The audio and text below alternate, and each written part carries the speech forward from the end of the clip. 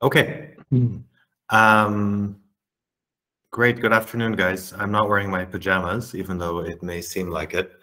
Um, I'm in a different room than you guys are probably used to, and I'm here to answer questions around uh, careers and the career process. Specifically, this week, we want people to pick tracks. Um, there's a tutorial that's planned for tomorrow. The schedule, as everyone is aware, I believe, is that by Wednesday, everyone needs to, we want a first choice of one of the three tracks. And by Saturday, we want a more, excuse me, a more final or formal definition. Um, if you guys allow me one moment, I'm just going to open the window. It's a bit hot in here. Just give me a second.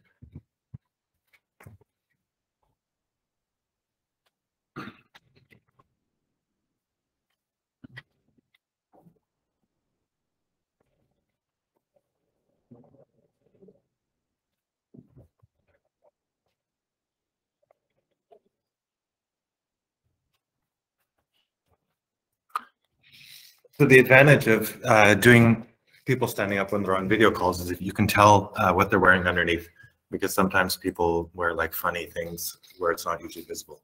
So it's always a good way to check, get them to stand up. Um, yeah, so that's that's what we're aiming to do.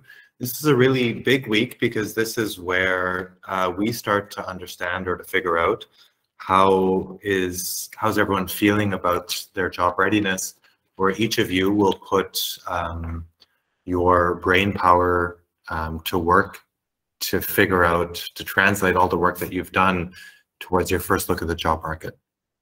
Um, I would also, I also want to say a couple of words before we go into the Q&A about uh, choice of track. I think some people are very worried about it, and the only reason to worry, as far as I can see, is the belief that there is a right decision or a wrong decision, or perhaps that there's an optimal decision. I think honestly, in practice, there's no real optimal decision, and there, I'll tell you why. Um, you're going to choose a track, but I think what will have a much bigger impact on your long-term success are is things that you can't control at this point. So is your manager a good manager? Are your colleagues helpful? Is the company going to be successful? Um, sometimes you get put onto a project and it's great. Sometimes it's horrible. Um, sometimes it just doesn't work. Sometimes you have a illness in your family, which means that you can get your work done, but you're not able to really put your teeth into it and um, grind really hard. so there's all these things that are outside of your control. So I would rather um, try and find what is the best mix of, and somebody asked today, should I go for what I'm good at or what I want to do? And the answer, as most things, is both. Um, you shouldn't just only you shouldn't only pick what you're interested in. So if somebody wants to be, become a brain surgeon um, and they want to start applying for brain surgery jobs uh, in a month, that's unrealistic because it's going to take you longer to pick up the skills and the knowledge uh, for brain surgery than uh, one month. But so the, the skills and the knowledge and that sort of alignment has to be there. But you also don't want to end up in a dead end job. And this is why we've been specific about picking these jobs because these are all high growth jobs in interesting fields. We're not training people to be Excel jockeys um, because we don't really want you to do that. So you need to do both. Um, I wouldn't worry too much about which track, but pick the one which satisfies your interest and um, which is realistic in terms of the skill profile that you have. Um, and then I have a couple other things to stay to say, but I'm gonna go. Let's go into the Q and A because I want to hear from I want to hear from you guys. So why don't we, uh, we can do hands or we can type. We can do a mix of those things.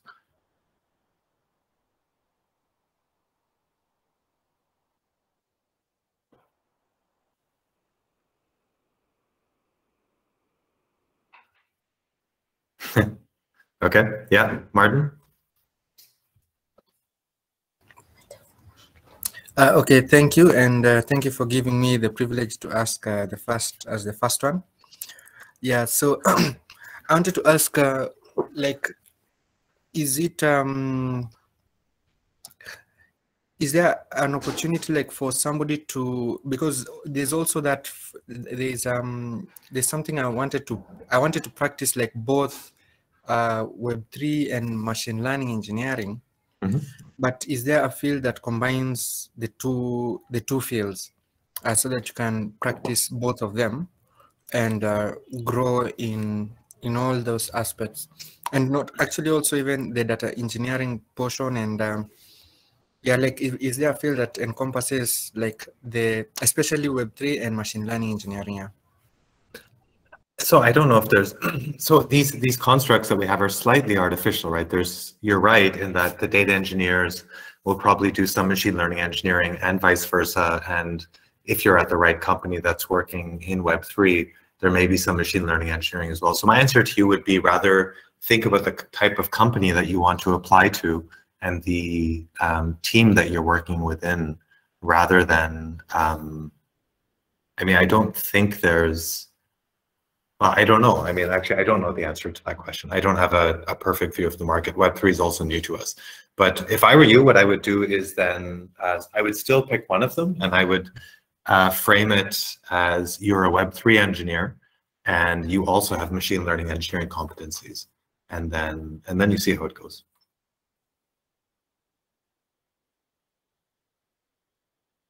Binyam?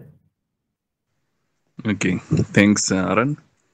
Uh, so my question is, uh, uh, we've been asking some questions, Miriam, earlier today. So uh, one of them was uh, something similar to what I'm about to ask right now. So I understand that you have partnerships to several companies. So mm. how does that come into play during the job search, and that means uh, Miriam told us that we will be conducting our own uh, researches and uh, coming up with uh, job opportunities, and that your roles are uh, around uh, helping us land a job or improving our how we look in hmm. general, mm. the social mm-hmm. media in our our CVs. Yeah. so don't uh, partnerships uh, help us here? So I think there's, so I have a couple of things to say. One is um, the only thing we can do is get you an interview. We can never get you through the interview. So a lot of the preparation that we're trying to help you with is how do you get through the interview? Um, so remember, remember that. So it doesn't matter, even if I was to introduce you to my brother, who, I mean, he's not hiring, but if he was, he would still interview you. If we wanted to hire you, we would still interview you. So keep that in mind. There are no free jobs. And there's not a single company, person, individual anywhere in the world that'll hire you on the basis of anyone's recommendation without at least speaking to you first. So remember, you have to prepare yourself to go through the interviews. In terms of partnerships, it's true we are working um, and doing what we can to try and say, hey, company ABC, have a look at these people. Are you interested? And by the way, they've been through our training, and this is why we think that it'll be useful uh, to apply the filter of look at our candidates because they're pre-tested and they're pre-vetted as opposed to just going out on the open job market. So we will do that. Um, and the process we follow will be as transparent as possible. If somebody comes to us, we'll ask them what they're looking for, and then we will match the people um, who have the closest match to what they're looking for. And we will do that in, for one position, we'll, we'll share three profiles and they can choose who they want to pick. So I I believe that answers your question. I think you're asking, I mean, there's an implicit question, which is, and we've had this in the past where somebody says, look, I actually don't want to do the hard work. Um, and I don't really care if I get a job right now. And I hope that these guys are going to do the hard work and introduce companies to me. Could be. I mean, we're going to do what we can to uh, bring companies on board, but it's going to take us a lot longer. A, and B, it's going to be a lot harder for you when you want to go to your next job and you have to go through this process by yourself. So we want everyone to be working hard to try and match and to be applying and to get into this rhythm of how do you, I mean, to an extent, this is, there's a job application API and you have to get used to interacting with that. How do you present yourself in a way that an employer anywhere in the world is um, is used to you? And that's once you once you get over that fear and once you develop that skill, you'll be amazed at how much of the world is open to you. So short answer, I would like everyone to be ready to hope that there's absolutely no support ready from us. And we have figured out, we think, how to get people interviews, and that skill will be very useful for you to go through the process and to apply and to fail and to learn, um, and to go through the first interview and to fail and to learn. Um, and in parallel, we'll be offering a little bit of support. Um, and that's that's what I would say. But does, does that answer your question, Binya? Yes, it does. Uh, by the way, I didn't actually I don't mind actually doing the research myself. I, I was just curious how the partnerships uh, will come into uh, the play. Uh, may I add one more question? Yeah, but I want to add one thing before that. The reason there's a reason why uh, we want to get to the scale of about 500 per year. That's our that's our current scaling goal, and we don't want to be the step that limits how fast we can place people into work. Um, so that's point number one. Point number two is we thought quite a bit about what what we are. We train people and we support people to get people into work. But what that means is you do your training, you get work, you make your paid for contribution, and then you're free. There's no obligation beyond that. And so we didn't want to get into a model where we train you and then you have to work for 10 Academy or you have to pay a percentage of your salary. We thought it was much better if we just say, this model works because we can, if you follow the system, you get a job that'll allow you to pay the cost of your training and then you're free to go and do what you want. If you want to go and after you pay, after you do this, after five years, if you want to become a writer, you want to become a sculptorist, you want to become an actor, everything's fine. But that's that's the scale that we've built into the model. So you have another question, Binyam? Go ahead. Okay, thank you. My other question is, um, I've been looking through the profiles of the previous batch. Uh, mm -hmm. Somebody earlier shared uh, a link to me earlier, and uh, I noticed that uh, uh, some really good uh, looking profiles have not yet gotten a, a, job yet. So, can you tell us what's the kind of X factor, or if there is any, that uh, differentiates uh, someone um, uh, people people from those who get job and those who can't or who don't uh, there's no so i think there's no magic formula. Um, so let me ask you a question back do you know of some people who applied for this training and even if they were clever hardworking smart people they they dropped out at some point Actually, yes, I do. So why did they drop out? Or why are they not here? Uh, some personal reasons, some were not sure whether they wanted to continue or not. I would say that's the, it's by and large the same thing. Um, I think confidence is a big issue as well, um, because it is hard, right? You're nobody.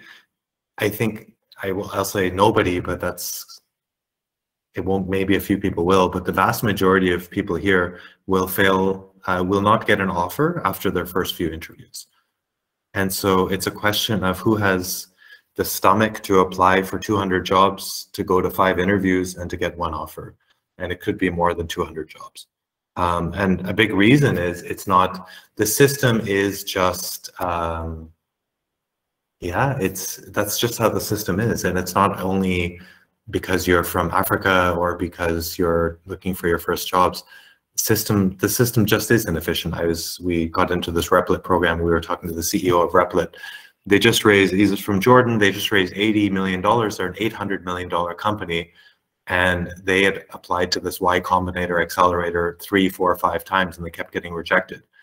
And it, they just got lucky. A personal contact introduced him to one of the founders, and the guy was like, "But you guys are doing amazing work. So why, you know, why don't you come to Y Combinator? And he's like, well, we've applied four or five times and you guys keep saying no. So sometimes the systems are not perfect, right? The guy who's reading your CV is having a bad day or they already have somebody in mind. So I would say it's just a question of, um, it's just a question of the right mindset and the stomach and also the right expectations. It's going to be, I would say, 80% of the effort of the training um, in terms of time and effort, but emotionally it'll be harder. Right now, we're telling you what to do.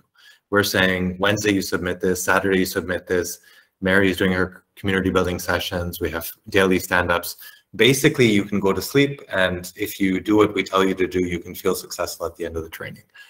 Uh, during the supported job search phase, it's going to be much more independent. We will be there, but when you're asked a hard question in an interview and you don't come up with a great answer and you think of a great answer afterwards, you're probably going to feel bad. And then it's that resilience and that, that bouncing back from it.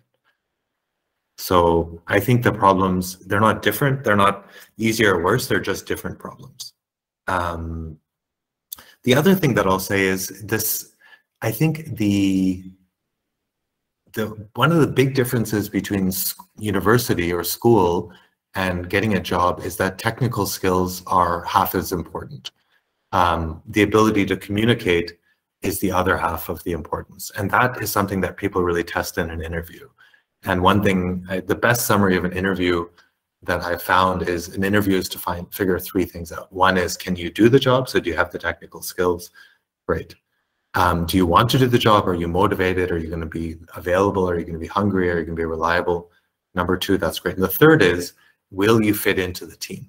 And this is where, I mean, that's partly related to one and to can you do the job and also um, do you fit into the team?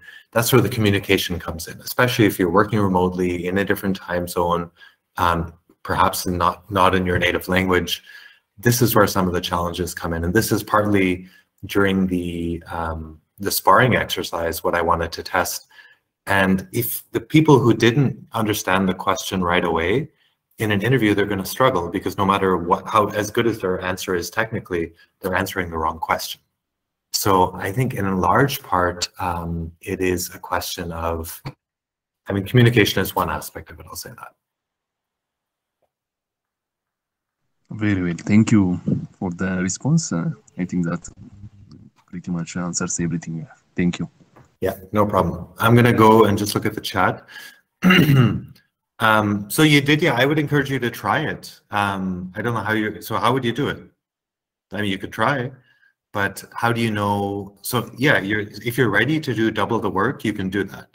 Um, why wouldn't you? So there's one thing that's limited, which is time, and maybe energy is also limited. So if you have a limited amount of time and energy, instead of optimizing two CVs and figuring out which CV fits for which job and trying to have that perfect match, why wouldn't you spend that time and energy picking one and going a lot deeper?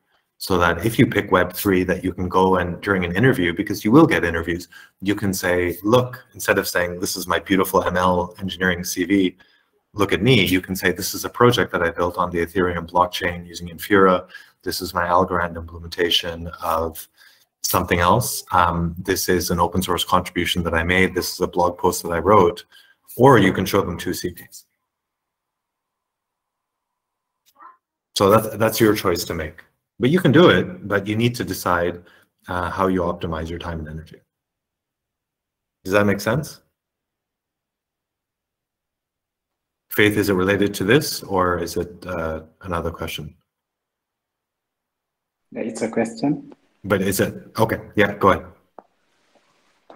Yeah, so uh, reading the, the manual you gave us, um, it says uh, if you can't build uh, a website, um, React.js website within four hours. Um, definitely 48, uh, 48. You should go to 48. Um, you should go to uh, data engineering. Um, I personally can't uh, build that uh, website. Uh, but again, uh, if the project that we did recently about data engineering would help me to evaluate myself, I also don't feel like uh, uh, suitable for the engineering track. So, uh, but that was a hard project. that was a hard project. I mean, that was yeah, this but, company. Uh, they they didn't do it themselves. Mm, but I would like to know how uh, strict is that condition saying if you can't do this in 48 hours, then uh, definitely you should go for uh, data engineering. I know at some point it reads this is only guidance, but uh, how how strict it is. So I mean, this is this is why we have to get to individual coaching. So maybe Faith, we can have a. You should talk to your assigned tutor, and then we can also talk one on one because these are only guidelines. But this is where it comes into every person has to make an individual choice. Each and every person's CV, profile, 50 letter summary. We have to work with each and every person to make the right choice. So I think it's worth uh, discussing uh, on a one-on-one basis, but it, it is only a guideline. Why is it 48 hours and not 72 hours? Um, it's it's just a guideline. It's also, I mean, the question I would also ask to everyone here is if you can't do it in 48 hours, how much, if you spent a week practicing, could you do it in 48 hours? Because then maybe it's worth spending that week if you're interested in ML engineering. It's each of you has to change your mindset and think, I'm going to make a decision this week. And after that, my next couple of weeks are going to be working to make the implementation of that decision possible. So if you want to go for ML engineering, then you do need to develop some job, some web development skills, or it'll make your life a lot easier. If you want to go for Web3 engineering and you don't know anything about how the Ethereum blockchain works, you're going to have to learn that. And that for most of you, um, there are areas that you'll have to improve on. Almost everyone here will need to improve their SQL. Almost everyone here will need to improve their Python. Um, people will have to redo different projects. People are going to have to think about um, there is just a lot of work to do. So I would, uh, it's a guideline, but I would think of it differently. Don't say, can I do this or can I not do this? You should think, do I, am I ready to invest the work that's required um, to get there? And this is where each individual person has their own circumstances. Some people need to get a job tomorrow because their family needs money or their personal circumstances mean they have to earn money we've had people who have come through the program and they say, look, I live at home, food shows up at in the morning, afternoon, and evening. I don't have any expenses. I can buy internet, and I'm ready to spend three months just reading and learning. So I, I don't know what your your personal circumstances, but I'm happy to talk to you about it. Uh, thank you. That answers my question. Okay. Uh, Tesfaye is asking, um, have not been covered as ML uh, is hard. Yeah, it is hard. Um, but I would encourage you to do some reading and some thinking.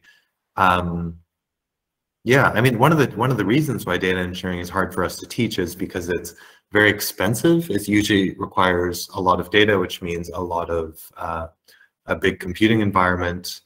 Um, yeah, data and getting a good data set is difficult. It's also a question of getting the right speed of data. So you could look at like stock market data or some weather data where it's like a high volume of data coming in. We are going to be doing a little bit more data engineering.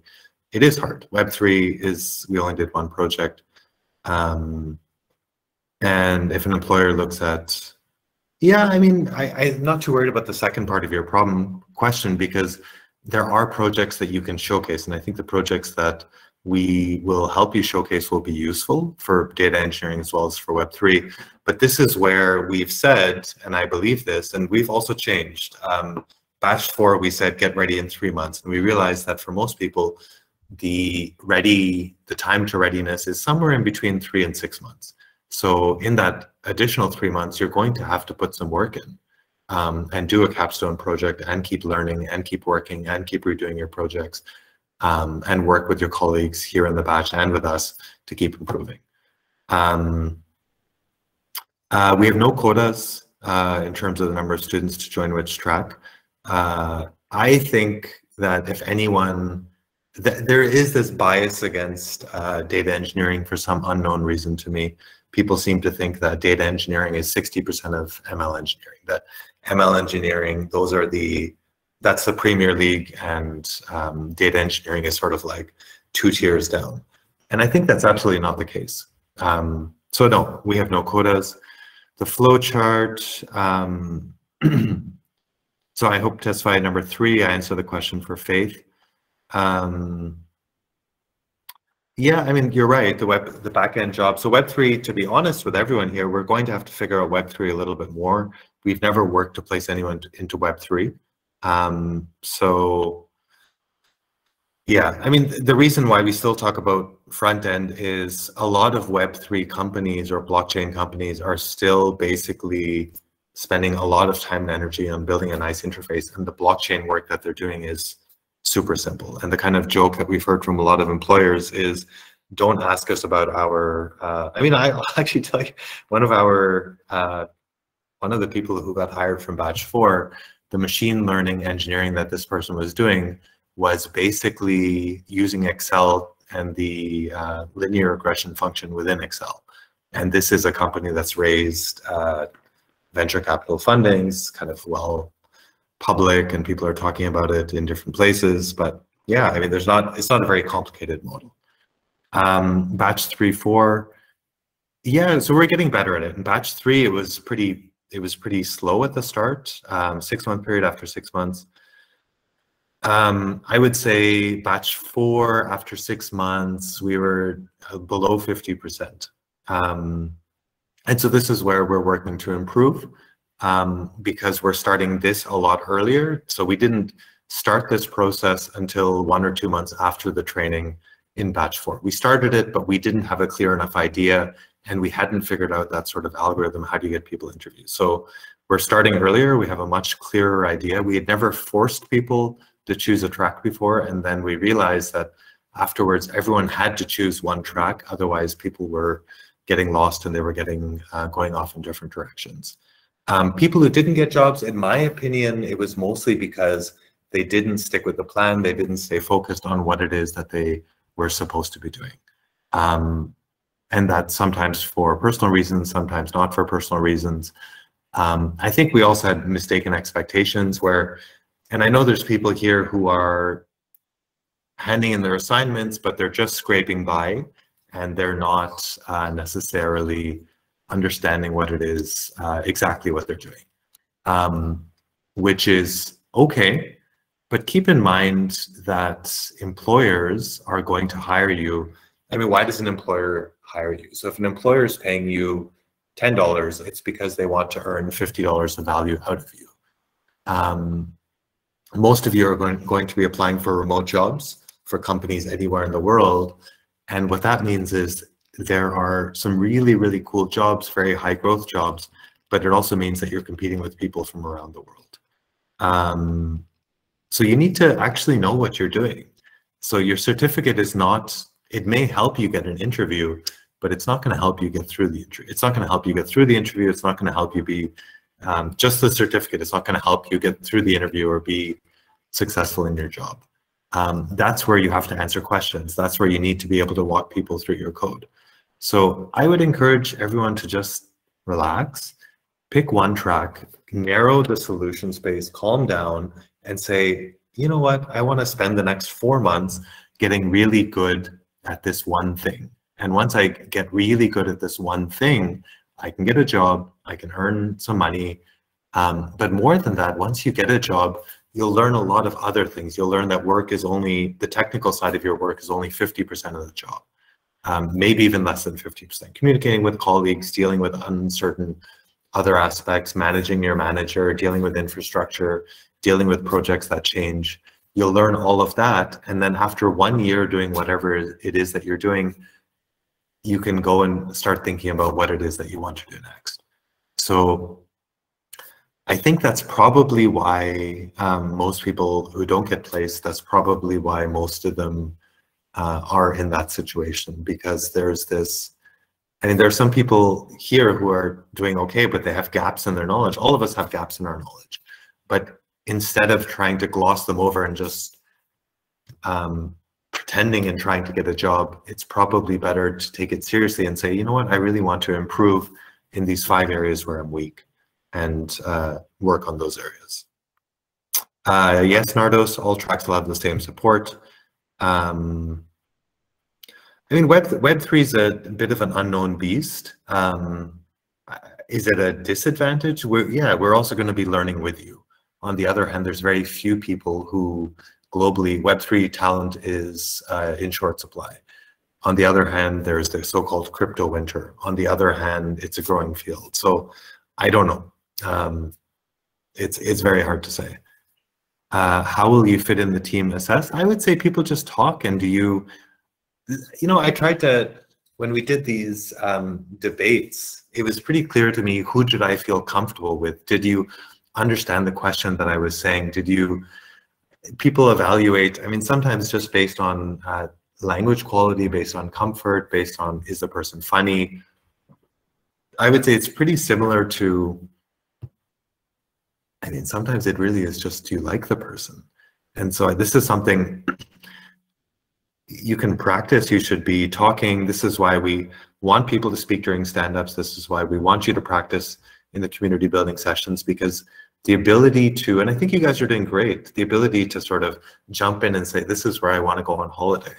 Um, and to give a meaningful answer, it's really useful and important practice. And maybe that sort of thing won't directly be asked uh, in the interview, but it will help you in the short and I think in the uh, longer term as well.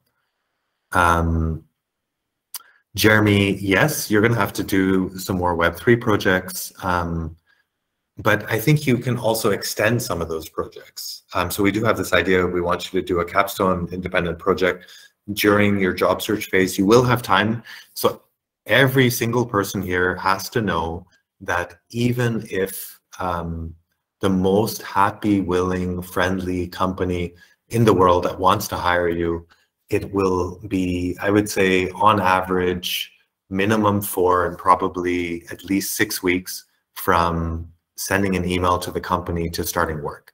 These things take time. You're going to need an interview, a second interview, a contract, HR, how are you going to get paid, who's paying your taxes, um, how do you get the money, how do you get onboarded onto the system. These things don't take time. And if you want a full-time job, which is different than working on Upwork, um, it's like getting, I always say that uh, I don't know if you guys have Tinder or any of these sort of dating apps. Um, Upwork and freelancing work is like dating on, you know, it's like let's have fun together on the weekend where you don't really ask serious questions. But if you're going to get married, um, which is like getting a job, then you do ask questions. You don't just go spend a weekend together. You kind of take care of, okay, where am I putting my sofa and who, you, you have to organize that stuff. So you will have time because nothing is going to move super, super quickly. Um, Kevin asks, so Kevin, let's let's talk about it individually. Talk with your tutor, and um, yeah, but I think Kevin, you're also talking about your if you're not comfortable in. So when we talk about front end web development, it's it's maybe a little bit of a misnomer. A React website is fine, even if you don't know React.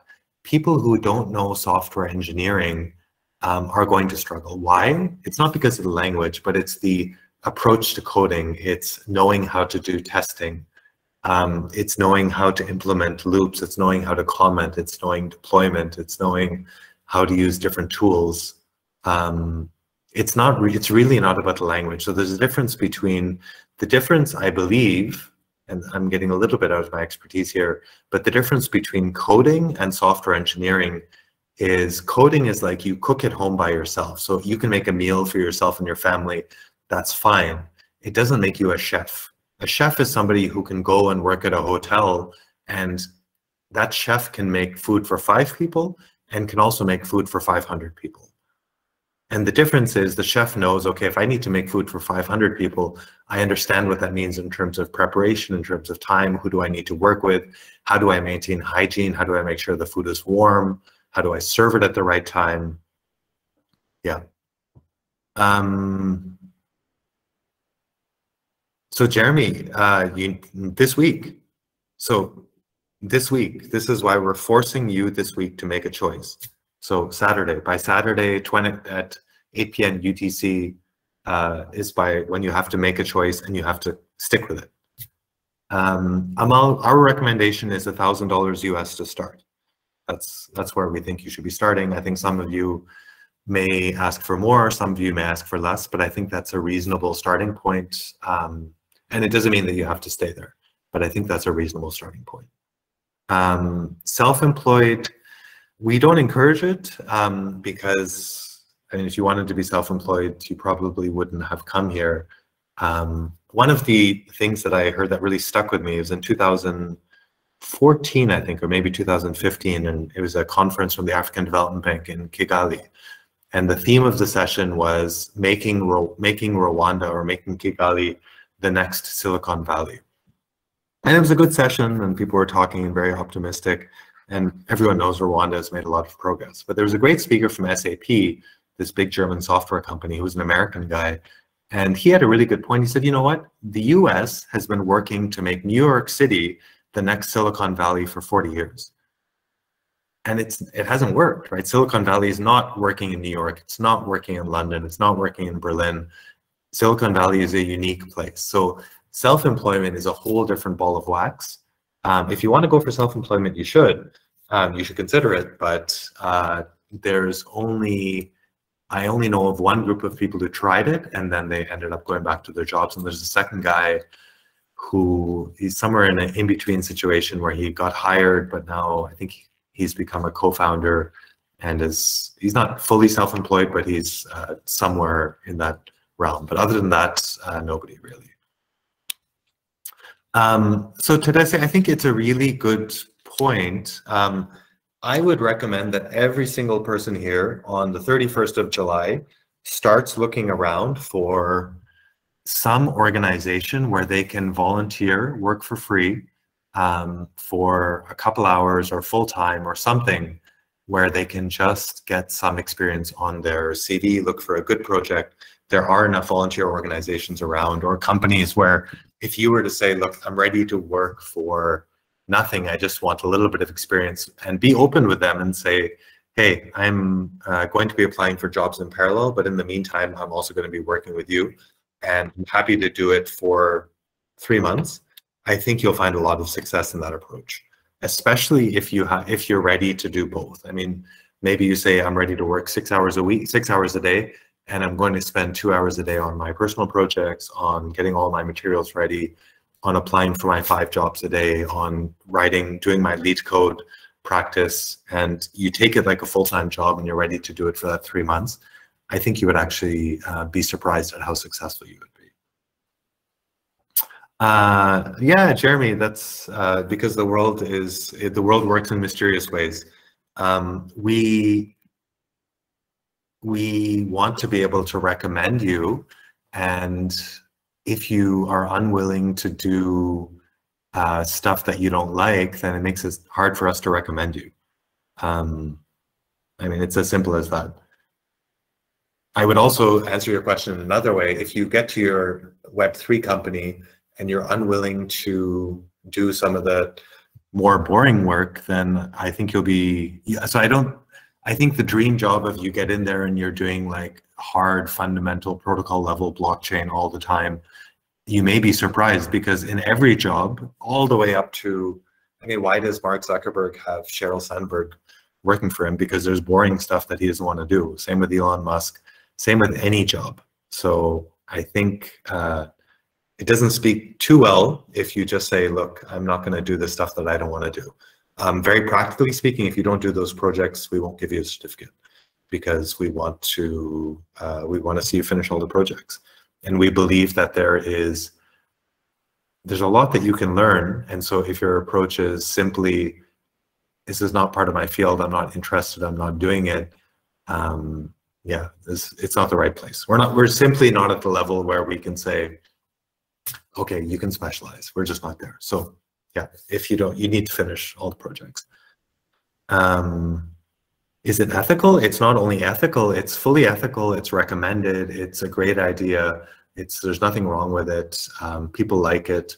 You will be, everyone who's on this call will be surprised at how helpful people will be if you write to them and say, hey, I'm interested in data engineering. I saw what you've done. Um, and you ask them a couple of good questions and maybe ask them for some advice or if you ask them good questions, right? If you write to them and say, hey, can you help me get a job? Um, nobody's you're less likely to get help. But if you say to them, hey, I see that you're an expert in Spark and uh, I am trying to find a good resource to learn Spark or Hadoop, or I see that you guys are using Snowflake at your company, or I've used a little bit of Kafka, but I haven't figured out exactly how to do it. Can you help me? Uh, or where do you recommend? Or why does your company use this approach and not that approach? Absolutely. I mean, that's it's perfect. So it's not only, I, I don't see why it would be unethical. Um, yeah. Um, so Biniam, I think the, so the difference is you, you need a lot more SQL in data engineering, you need to focus a lot more on the pipeline development. Um, and so this is where you have to look, spend some time reading these diagrams from Andreessen Horowitz, and then look at the link to the article. It's now been updated, but understanding they're working in different areas. I mean, let's let's use the restaurant analogy. So it's true that the people who there's the person who cooks the food and there's a person that prepares the food to be cooked. And they're both dealing with food and they're both dealing with hygiene and they're both dealing with pots, but their jobs are not exactly the same. Um, so in practice, I think the data engineers spend a lot more time thinking about how do you maintain pipelines, how do you improve pipelines. There's a whole new field called analytics engineering. There's also reverse ETL. There's also, I mean, it's changed just in the last year, it's changed a lot. So um, your question is, is there something we are not going to do in each of those paths? I think in a pure machine learning engineering role, you can assume that you have a clean pipeline of data which is coming in. Um, that may not always be true. It depends on a company. If you join a big company, that's probably true. In a small company, you probably have to clean the data yourself. Um, and I think on the data engineering side, I think you can assume that the majority of your work is on acquiring the data and you're not as worried about uh, what happens to it after that.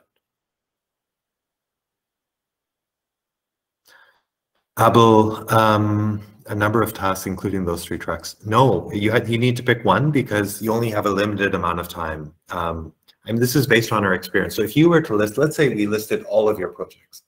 I mean, just look at the look at the 10 projects that you would have completed by the end of the training. Which one do you put first?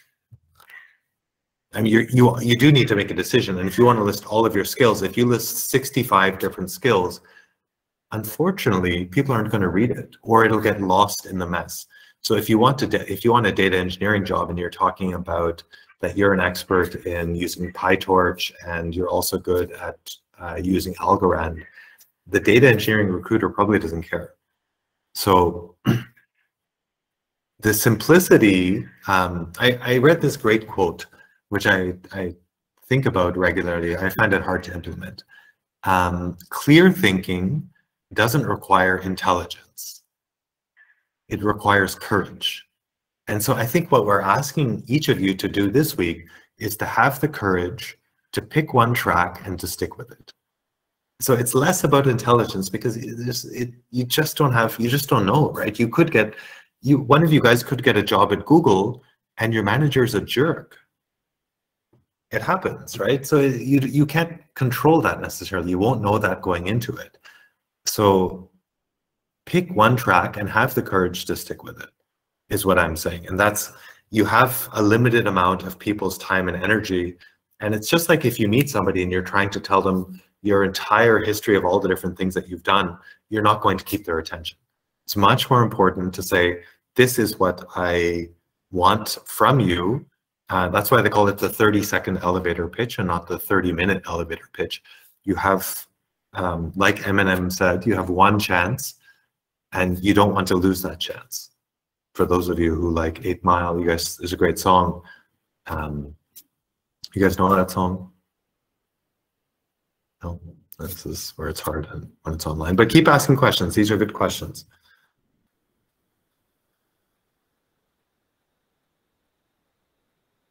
You guys can also put your hands up.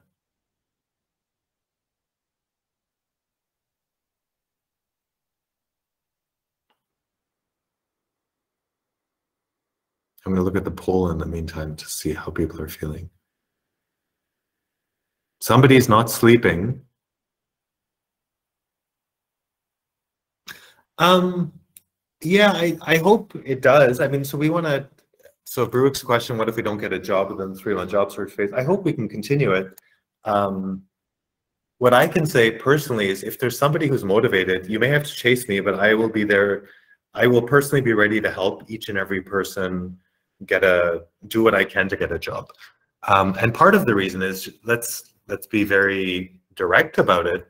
10 Academy will not be financially viable if you guys don't earn money. So our promise to you is we will help you get a job and you will make a contribution to be able to run the next batch of training. If that doesn't work, then our model isn't working. So we we have aligned incentives. we want you to get work so we can continue.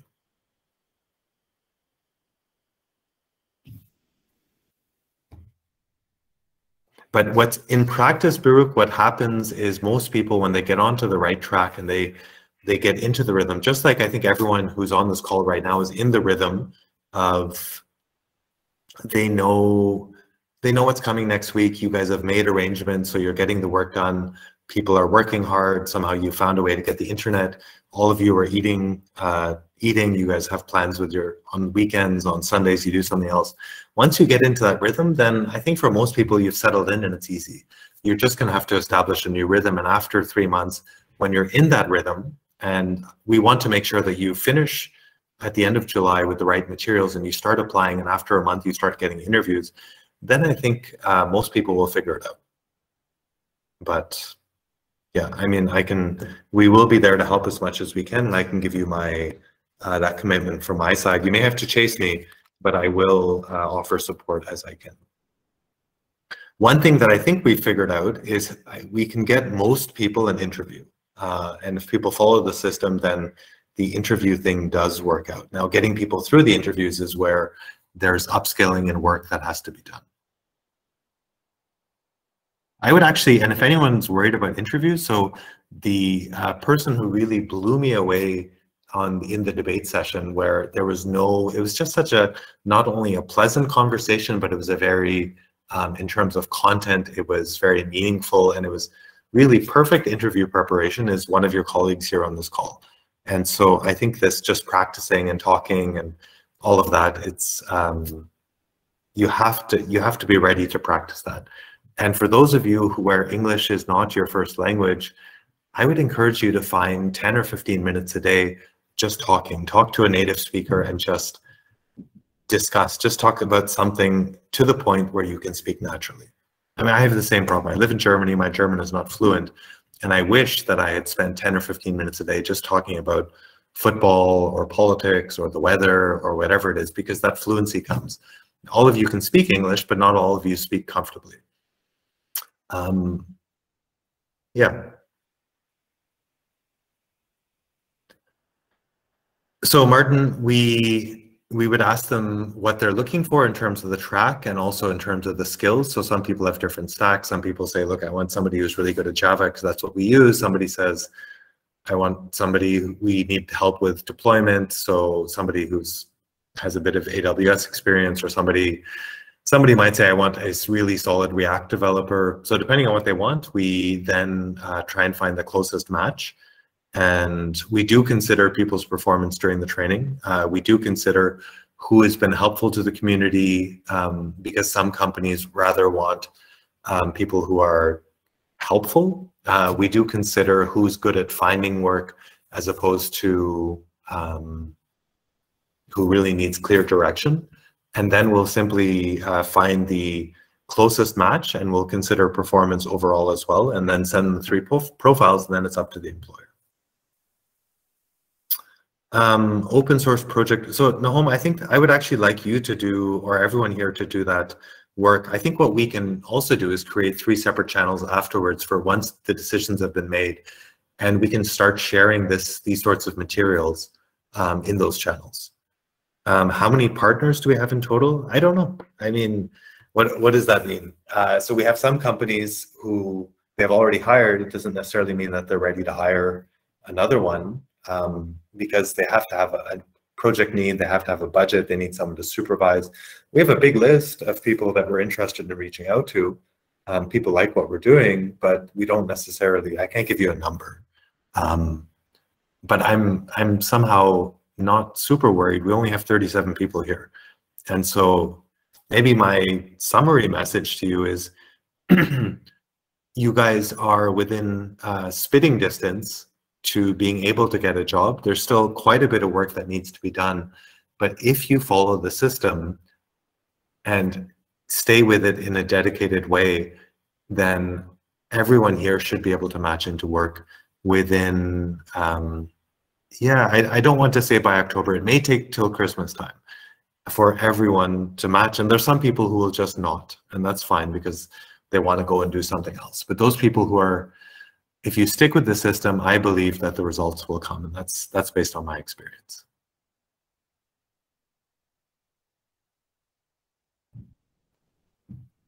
Uh, in which respect, Binyam? How's the batch doing?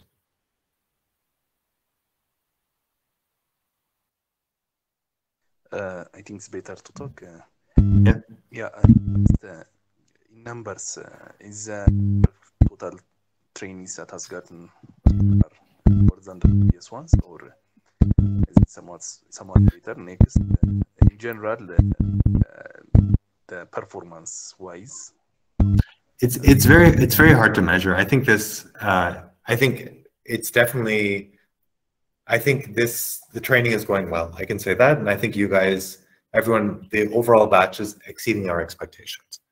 So I think that uh, yeah, I mean I, I can say that much. I think we're also more organized. We're also more clear on what it is that we want to do, which might help. Uh, we have uh, we have more experience and but yeah, the trainees are exceeding our expectations. I think that you can see, I mean, the best thing for me is when previous employers come back and talk to you guys, right? So yesterday you had Kanumi, we had Pivot Bio before. There's a number of other companies that we could bring back, but the enthusiasm that they have in coming and speaking to you guys is, it's a sign that actually there's, there's value. So I wouldn't, um, yeah, I don't, I don't know what to tell you other than you guys can definitely make it. It's not it's not going to be a free ride, just like the work that you've done to go from applying to get to here. I think everyone's put in a lot of work, but it's it's also true that if you just follow the system, then it kind of makes it a little bit easier, right? We're not throwing you out into the deep end and say good luck. We're saying we have a system. We want you to follow the system, and uh, you will. It it should work out.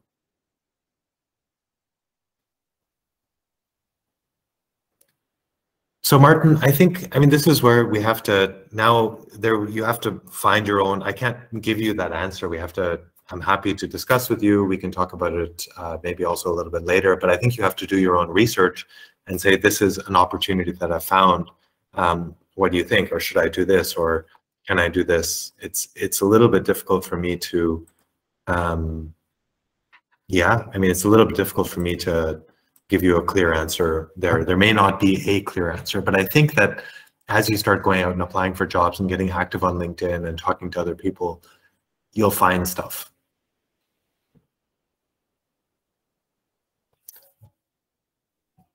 So I, I don't know exactly what you mean when you talk about factors. Maybe you can unmute.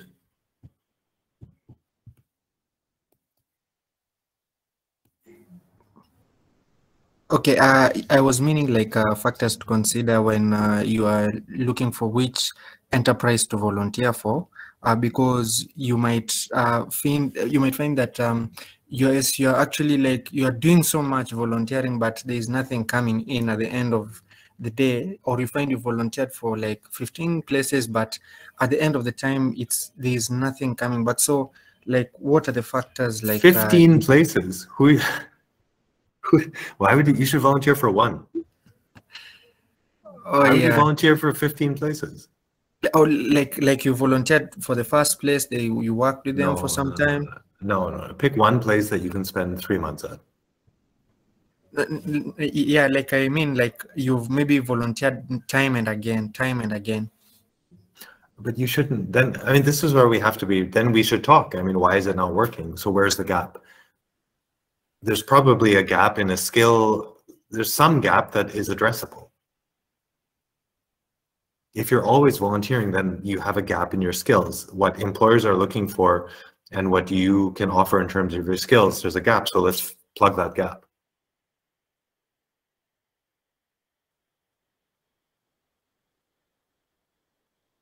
Amal, nobody is going to get a job on the, nobody's going to start work on the 1st of August. So it's fine. I mean, maybe it's a question of expectations, but it just will, as I said, even the most motivated company, it'll take four weeks, six weeks to get from HR to contract to processing to get access onto the system. So my advice to everyone would be keep applying for jobs, keep improving your skills. Let's, uh, I mean, we have a list of things that we're going to be asking you to doing to do once we get into the supported job search phase. Do that. Uh, work on a project. Write articles. Do, and there's no shortage of things that we're going to ask you to do. Improve your timed coding challenges, um, like LeetCode and other things like that. Go teach someone. Um, improve the projects that you did where you didn't fully understand them. Go deeper in other areas. Teresa? Uh, okay, thank you, Arun and others. Uh, yeah, actually, what I need to talk is uh, we are now focusing on job issues. But maybe sometimes getting a job is, uh, as my perspective, it is a chance sometimes, and it is up to communication, uh, up to promoting ourselves and so on things. Mm -hmm. Maybe as a question, what I have is uh, for example, we may use the knowledge we get from your academy here and there.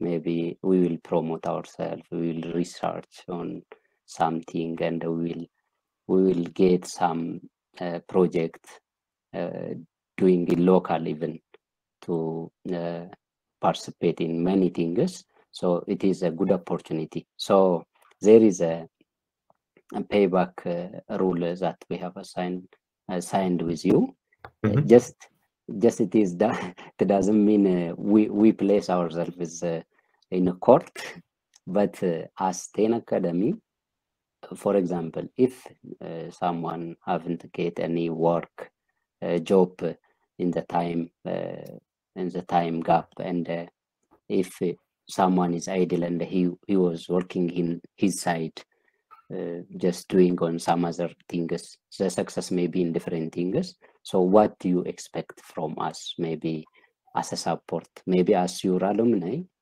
So what support the academy? No, I think we've been clear and said if you're, we only want you to pay it forward once you're earning $500 a month or more. So once you have a full-time stable job, then we want you to pay it forward. So if you are earning a little bit here and there, you do a small project on Upwork or you're doing some teaching here and there, you don't need to make the paid forward payment until you get a regular full-time job. Okay. Yeah. Okay. Thank you. Thank you. I think there was one more question. The communication. Um, yeah, so we'll set up a schedule. I think we plan three stand-ups per week. Um, we're going to be asking people to be reporting back in a two-week sprint cycle. We'll keep the Slack open. We may probably use the same one. We have to see. Um, and then we want, yeah, I, I, basically want people to be reporting on what they're doing. Um, I want, if you're not getting a job or you're, eh, forget about getting a job. It's going to go from rejections, interviews, and interviews also have many stages. First phone screening, technical screening, time coding challenge, second screening.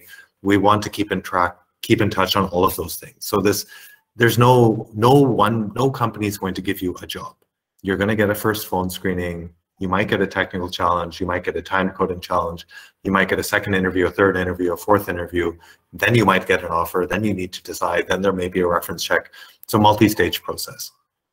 So and it's only after that that this kind of job thing comes through uh, or the offer comes through and then you can you can get work so we will set up that infrastructure for people to um, to stay in touch. And that'll probably include, as I said, stand-ups, it'll include Slack, it'll include reporting. Um, yeah. But we've we've done this before and we've started to figure out, so two years ago, it was, we didn't know what to do. Uh, five years ago, we had no idea what to do. So now we have a pretty good idea of what to do.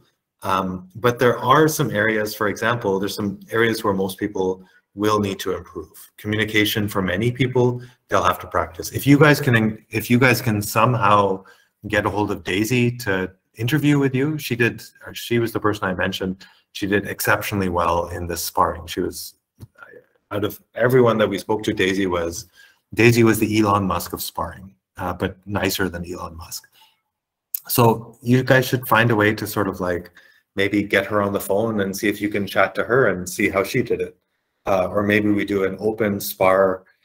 And you guys should ask for help if you want uh, her and me to do like a five minute back and forth, or we can do the aliens thing with Daisy and she can be for or against aliens just to practice, just to hear how does she respond to it. Super. Um, SQL I already mentioned. Timed coding challenges are a big one. People's efficiency in terms of Python programming is something that most people have to improve on. Improving the projects where they didn't do well. Getting a few demonstration projects together is another area to improve on. Um, doing a capstone, making their LinkedIn visible, connecting with people.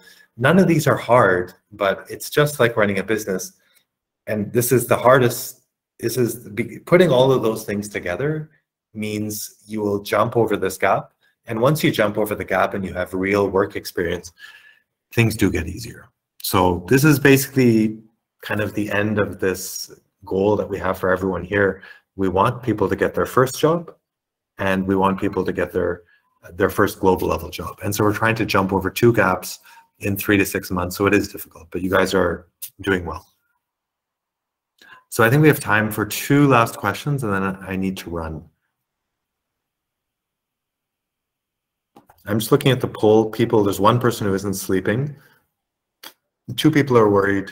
Um, and the ready, the, yeah, I think most people should be in the relaxed and ready, but ready for a stressful time. So I'd like to hear from uh, two questions from the ladies in the group. Are there any questions from the ladies? I think they've, I don't know if anyone asked. Amal asked a question. Um, anyone else? Two of the ladies. Amal, yeah. Hi, Arun. Hi, Amal. Okay, so I have a question. Um, I remember when we were, we were applying for the 10 Academy program, uh, you told us about uh, one project that uh, we believe uh, we would like to do it. Um, I don't know if you remember that. Say it again. Where where you have to you'd like to do it? Like uh, we're aspiring to to to use AI and ML. Ah, yeah, yeah. During the application phase, yeah. Yeah. So is there a way we can uh, we can uh, do the project or how is it? What was the data about? Why did we ask the question? Yes. It's a good question uh, no one's ever asked me that. It's a good question. Um, so it's we find it to be a good differentiating question for a couple of reasons one is you can see there's a lot of people who just wrote nothing or people who wrote like a one line answer so we wanted to see, are people going to write? The second is we wanted to see, did people think about the problem? Was the problem at scale? Was it a sustainable problem? And was their solution, did you did they actually use technology to solve their problem? So it was more just to evaluate uh, that. And then the presentation, did people listen to feedback? So we were testing a number of things while trying to encourage you to uh, stimulate that creative juice. Um, I don't remember what your submission was. We can go back and look at it. But yeah, I, I think it's probably if if it's the right sort of thing where you could get started, then consider it. Okay, okay. Thanks. Yeah, but I mean, evaluate it critically. If you think that it's a good place to get started, then start on it. If you want to ask some of your colleagues here in the batch five to get started on it with you, then talk to people. I would like to see talk from uh, Phil Clay from MIT, former chancellor of MIT, African American guy. And one of the main points that he made last year was there are more than enough jobs for everyone here. Nobody here is competing with anyone else. You will be much better served if you collaborate as much as possible. And in the long run, you will be amazed at how much more the relationships build and you you benefit from each other than any aspect of competition. So I would like to see this, um, that the, we move at this on how we get jobs, which CV is working, or I found this great open source repository that we should all be contributing to, or there's a workshop that's happening, or there's a free talk which is taking place, or there's this company that's hiring, or um, I just got a job and have another open position. I mean, there's there's so many possible things that we could be doing. Um, last question. Any of the ladies? We have Stella, we have Selam, Ikma, um, Matilda, Daisy, Rafa, Maron. Nardos, and I think that's that's it. Miriam. So I'm going to studiously observe, uh, ignore the questions from the men in the meantime. Any other questions? One more. Daisy? Um, thank you. So mine is about um, selection of maybe say companies you want to work with. I've been reading a lot of stories online about maybe say black people are more excited to work from home um, post COVID and they're not excited about going back to work um, simply because working from home allows them to miss out on a lot of um, bias and a lot of office politics that goes on at the workplace. So I was just wondering if we are going to have a session on just how well to work with a cross-cultural team or if maybe there are things we may have to drop while um, stepping in to work with um, such teams or really like what kind of adjustment is um, called upon when you especially working with say local companies That's a hard one. Um, so I wouldn't, I don't think, I mean, did you say that black people like to work from home? I, I, I didn't see that one. Is that what you said? Uh, yes, people of color rather. Okay. Well, I mean, yeah. So I, I didn't see that. I haven't. I didn't read that anywhere. Um, doesn't mean it's not true. I mean, what we tried to do is, I mean, this is the we've tried to simulate in some way a professional intercultural work environment. Um, but I think the question you're asking is, our way to teach that was to try and make people speak during stand-ups, to have the community sessions, that people attend tutorials, that people talk you work in teams, you work in pairs, and so you get used to that.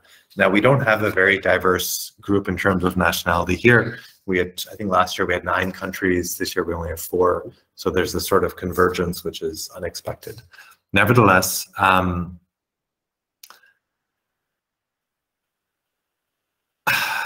yeah, I mean, that's, I don't, if, if you have any, maybe if you, if you help us figure out what sort of training do you feel like you need, then I would be happy to work with the team to try and provide it. But I don't know it, right now beyond the sort of setup, and we've tried to set it up similar to what you would find in a work environment and expecting that most of you will be working remotely. Um, I mean, I think most people are actually by and large ready. I think there's some people who do have to practice speaking and communicating. I think that some people will struggle in finding work as opposed to being told to do work. Um, there's other things that will come, but you have to remember that we're also clear that you should be taking a junior level job. We're not asking you to become a manager. And so a junior level job, fresh university graduate is pretty well understood that they're not, most companies aren't expecting a huge amount of autonomy. So I think my short answer is if you can manage well here, you'll be fine. Um, but we're probably missing some stuff. And so if anyone in the group has ideas, I'd love to see them uh, written down in the All Careers channel and just tag me, tag Miriam, tag Carrie, and we'll find a way to, um, we'll try and find a way to address them. Uh, okay, um, just one last question. Also, while looking at organization, how do you, how do you make sure that you get into a company that um, will sort of assure um, your technical growth rather like a company that's invested in your growth as a person? How are you able to rule out such companies from the rest? So i think you should prepare those questions during an interview um, so that's one the second is i would look at linkedin and figure out see who's working there because it has linkedin has a lot of powerful tools who's working there where have they come from what was their what were their growth trajectories like um, you can get a lot of, let's say, other sorts of signals uh, in your sort of pre-search. I would spend time looking at their job advertisements. How are they written? If they're poorly written, if they're rushed, then maybe the company is in a rush versus having a professional HR team. Um, but I would really ask those questions during an interview as well. And the right sort of companies will be happy to, to talk to you about that. Um, but I think that's it's like a relationship, right? You can date somebody for 10 years, live together and do everything, but after you get married, sometimes it's life is you can also be surprised. So I would all of that gives you some information, but there's still no guarantees in life. Salam? Okay, uh, well, my uh, question is, um, how was your success on the on the previous batch, especially when it comes to uh, the ladies, uh, because uh, um, it's mostly more male-dominated fields. These three fields are male-dominated fields. So, what would you advise us? Um, I think the, the ladies are very well placed. Um, most companies are interested in hiring more women because their teams are very male dominated. We have a, our ratio in batch five is not good enough, but it's still compared to the field, it's much higher. Um, we're at 35%, I believe, and the field is on average 15%. So I think for, I think most women, it's actually easy. We ran out of women pretty quickly in batch four. I know we still have some people who are available, but yeah, I think for the ladies, I, my suggestion would be the same as everyone else. Um, and honestly speaking, I find it easier. I think during the job search process, it's somehow a little bit. Uh, I find the women get placed faster than most of the men, and part of it is approach. Part of it is what companies are looking for. Um, uh, this is kind of a generalization, but most of most of the women we have in the group are much better at communicating than the men that we have. So that's also very important. So I'm somehow, yeah, I'm not too too worried. I think we'll actually do fine. Um, in batch three, we took us a it took us a while to figure. You were talking about success. Um, it took us a while to figure out how to get people interviews, and I think we had to change a couple of things, and then it started to work. Um, it took us a while to realize where some of the skill gaps were and where the trainees were quote unquote failing. And so now we have suggestions on how to improve that. It took us a while to figure out a number of things. And so from batch one to batch five, the process has really just been continual improvement. So I think it will be, we haven't, we've by no means figured everything out, but I think it will always, we've continued to improve that system and that process, and I believe it'll just keep getting better. So I think in batch four, we did much, we got, it took a while to get people into jobs. It was a little bit faster than batch three, but the quality of jobs and the average salary of the jobs was much higher. And batch four was the first time that individuals without our help found international jobs by themselves. So in batch three, not a single person got an interview at an international level company without our help. In batch four, people got their own interviews, many interviews with international companies, and some people got those jobs by themselves.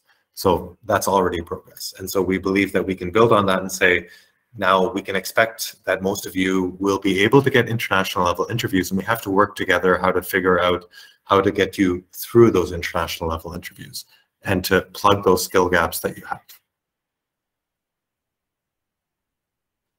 So I need to run. I have a call in 15 minutes that I need to prepare for, but I, I found today's session to be very positive.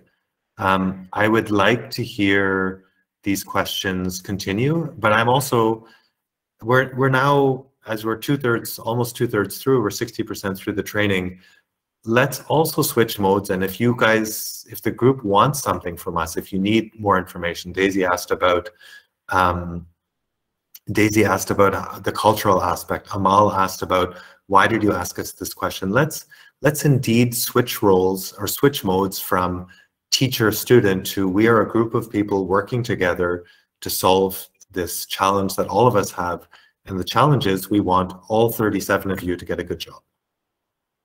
And whatever you need from us within reason, we're, we're prepared to provide. So if you need something, then ask for it. If you have a suggestion, make the suggestion and we're no let's you know we're we're beyond this teacher student uh, thing. We're now a group of people 37 plus i don't know how many we are on our team five to 10 people. Let's say 45 people working together to get 37 jobs. Yeah? So i'm going to run and stop recording first. Um,